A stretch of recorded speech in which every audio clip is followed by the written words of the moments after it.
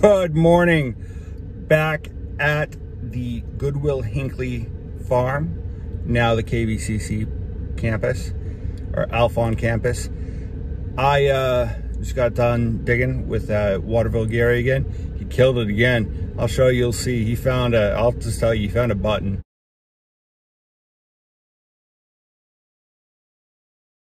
Um, it was more of an exploratory metal detecting event. I wouldn't call it adventure. We're exploring a house site, a known house site that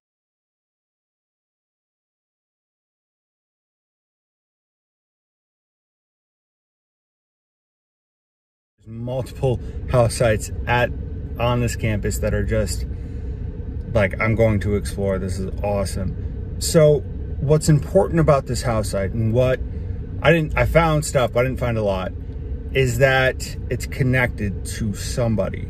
That's what I wanted. That was my purpose is to connect it through research to someone who actually lived there.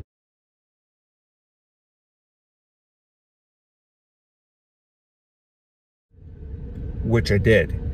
So all these all these photos that I have, the older photos and some and one of the newer ones, they are from uh, the LC Bates Museum, which is the Good Will-Hinckley Museum. So I contacted them, asked a whole bunch of questions, and they they gave me an answer. Thank you so much.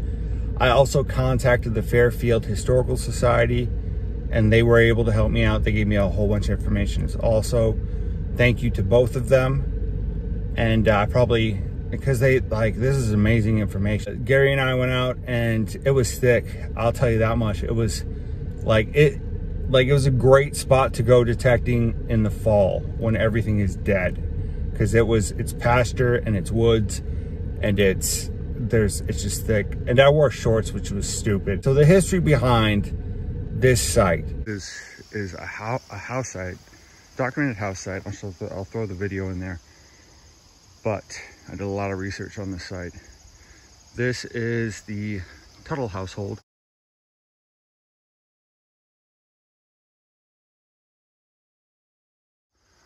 Uh, Elmer Tuttle was a Civil War vet and his son, James Tuttle, is the reason for most of the construction or had his hands in most of the construction of the Good Will-Hinckley properties to include the World War I memorial.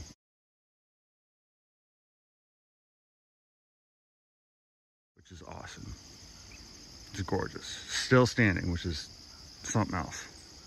But there's a couple of these sites on the property. There's a lot of these sites on the property, so I'm gonna get to digging. So metal detecting is about finding relics, mostly. For me, it's about finding history. And this is this is what I love.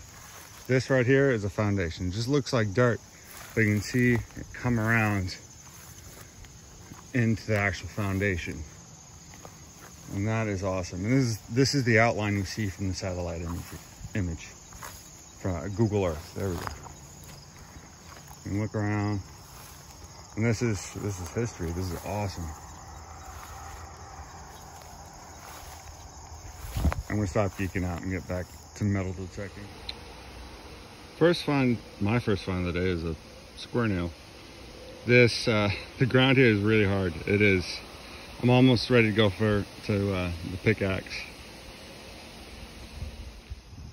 So this bad boy rang up as a 90 and I got excited. High signal. Turns out it's not a coin.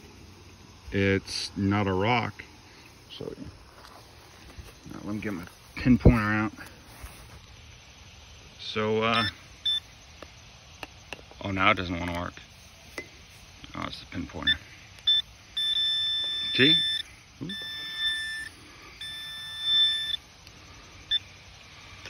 So that's interesting. It's heavy, like it's really heavy. So this, where I'm at approximately is the house site was over there. The house was over there and the, you can see the foundation. So this is about where the barn would have been, maybe. Uh, just guesstimation.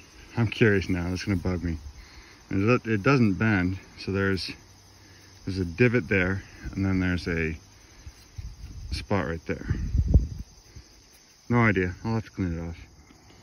So this rang up as a 40. Obviously, it's a piece of metal. So low, low, low. So I dug it. And uh, no idea what it is. So I'm gonna, eventually I'll clean it off. And that could be just a, a piece of, I don't know, who knows. Gary just found this button. That's awesome. You can see the lady. Got some gold on it. That is, that is cool. So kind of, this is obviously a nail.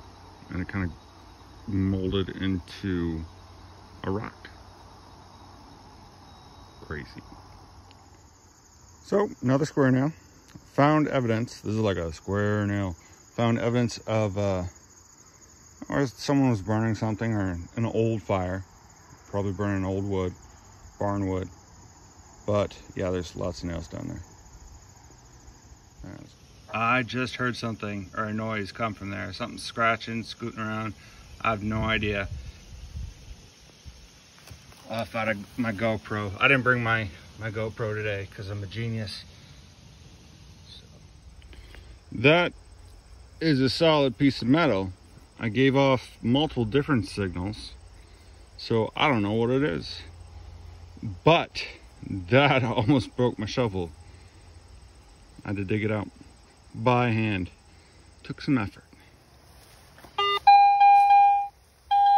So it is all over. Whatever's under here is it's all over and it's ringing up. I have no idea what it is. All I know is that I went looking and there's a hard substance that covers it like concrete. Don't know if it's concrete. I'm sick of digging. So there is, I'll see, show you.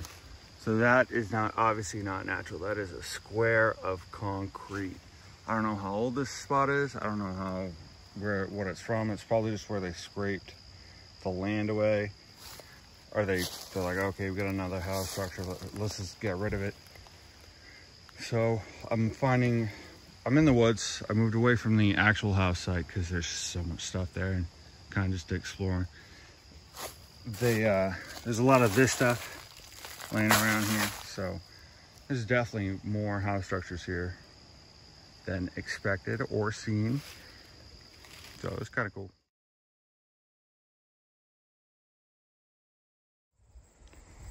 So it looks like a giant shovel, maybe, who knows? I don't know, kind of how the day is going.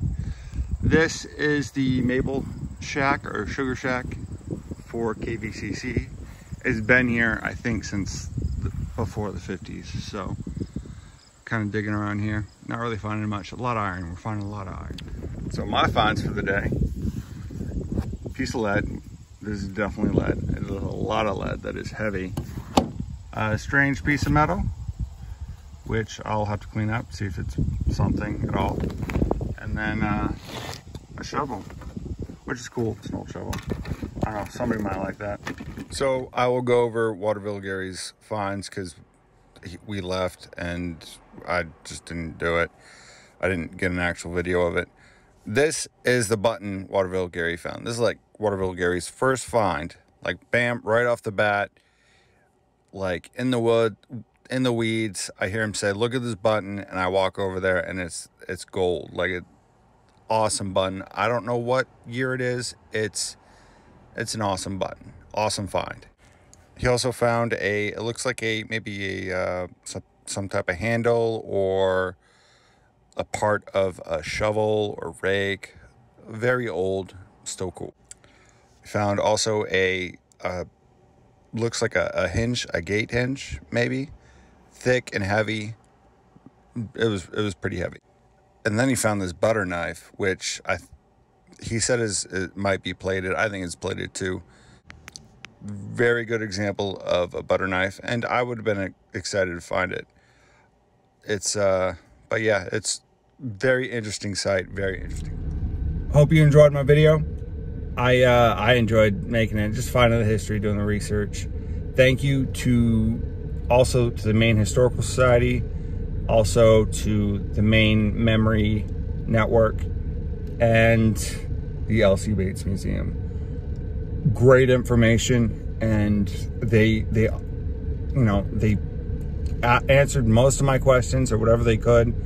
They didn't have to. They they took time out of their they took time out of their do, their job and their day to find the information for me and respond back to me. So huge thank you to them. This place is, is something else. This place is, this property is something else. I love it, love it. There's so much to find. There's so much to, to explore. Mainly dig out.